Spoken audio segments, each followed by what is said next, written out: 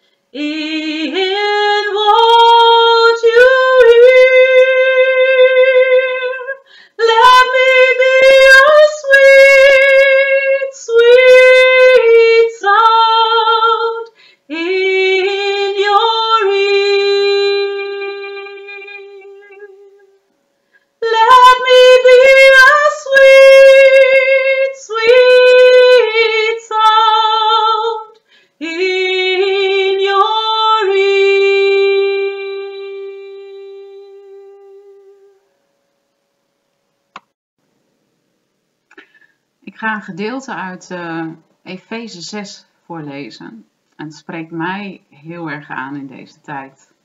Dus nou ja, ik wou het gewoon delen. Verder, wordt gesterkt in de Here en in de sterkte van zijn macht. Bekleed u met de hele wapenrusting van God, opdat u stand kunt houden tegen de listige verleidingen van de duivel. Want we hebben de strijd niet tegen vlees en bloed, maar tegen de overheden, tegen de machten, tegen de wereldbeheersers van de duisternis van dit tijdperk, tegen de geestelijke machten van het kwaad in de hemelse gewesten.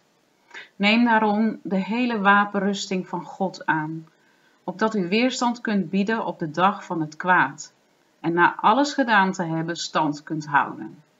Houd dan stand, uw middel omgord met de waarheid, en bekleed met de borstharnas van de gerechtigheid, en de voeten geschoeid met bereidheid van het evangelie van de vrede.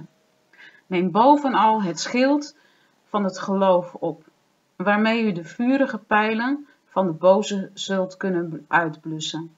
En neem de helm van de zaligheid en het zwaard van de geest, dat is Gods woord, terwijl u bij elke gelegenheid met alle gebed en smeking bidt in de geest en daarin waakzaam bent, met alle volharding en smeking voor alle heiligen. Bid ook voor mij, opdat mij het woord gegeven wordt bij het openen van mijn mond, om met vrijmoedigheid het geheimenis van het evangelie bekend te maken. Nou, ja, het spreekt mij enorm aan. Juist nu, eigenlijk altijd, spreekt mij dit uh, gedeelte wel aan.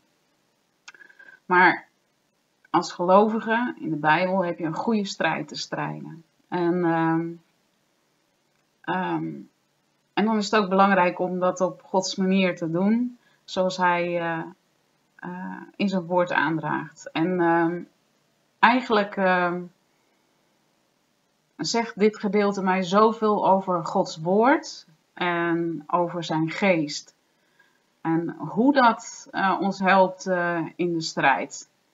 En um, omdat uh, juist Gods woord helpt om de goede strijd te strijden. Um, houd dan stand, uw middel omgord met de waarheid. Nou, de waarheid, dat, dat is Gods woord, maar ook de waarheid van alle dag. Dat je niet uh, in leugen leeft.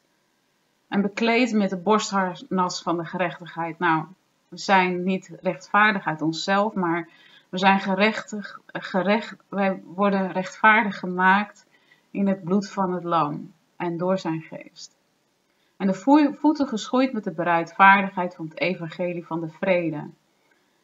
Um, het evangelie betekent de goede boodschap. En de vrede is de vrede die God brengt, doordat hij zijn eigen zoon heeft laten, de straf heeft laten dragen die eigenlijk op onze zonde was. En, uh, en zo op die manier heeft de Vader vrede met ons gesloten. En uh, sluit hij vrede als wij uh, vergeving vragen voor onze, onze zonden, de dingen die we verkeerd doen. Um, onze gebreken. En uh, op die manier uh, kan God ons zijn vrede geven.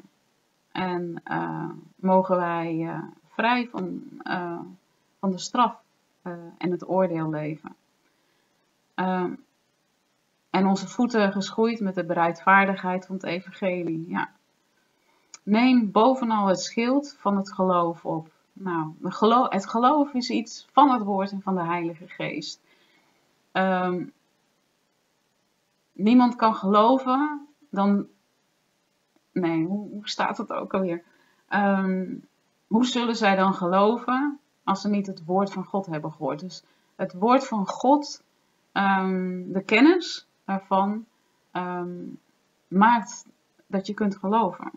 En de Heilige Geest maakt dat je kunt geloven. Dus het is een samenwerking tussen uh, het woord van God, de Bijbel en de Heilige Geest, die het in jou bewerkt.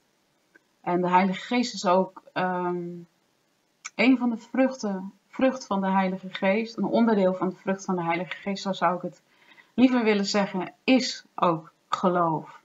Dus um, het geloof groeit niet uh, zonder de Heilige Geest. Um, ja, neem dan bovenal het schild van het geloof op, waarmee u de vurige pijlen van de boze zult kunnen uitblussen. En neem de helm van de zaligheid, hè, ook de hoop uh, dat Hij ons zalig maakt straks. En het, het zwaard van de geest, dat is Gods woord. Weer Gods woord. Daarom is het zo belangrijk om Gods woord te lezen en te kennen en te herkennen. Of, iets, of iemand Gods woord spreekt of dat hij een ander woord uit zichzelf spreekt. Terwijl u bij elke gelegenheid met alle gebed en smeking bidt in de geest. Ja, de Heilige Geest wil door ons heen bidden. En daarin waakzaam bent met alle volharding. Nou, juist in het laatste der dagen hebben wij volharding in het geloof nodig. Uh, want we moeten tot het einde toe, totdat Hij uh, ons komt ophalen, is belangrijk om door te strijden. En we weten niet wanneer die dag is dat Hij ons komt halen. Dus doorgaan, doorgaan, doorgaan. En smeking bidt in de geest en daarin waakzaam bent met alle volharding en smeking voor alle heiligen ja, heel erg belangrijk om voorbeden te doen. Om ook voor elkaar te bidden. Nou, dat wou ik graag voorlezen en uh, ja. En graag delen. En ik hoop dit gewoon in de komende dagen meer te doen. Want ik denk dat het belangrijk is om te delen. En om elkaar te bemoedigen volhouden, doorgaan. Yeah! Want er komt straks een heel mooi iets aan. Iets heel bijzonders. Wat, we, wat ons verstand erboven gaat. Werkelijk waar. Nou, prijs de prijs God.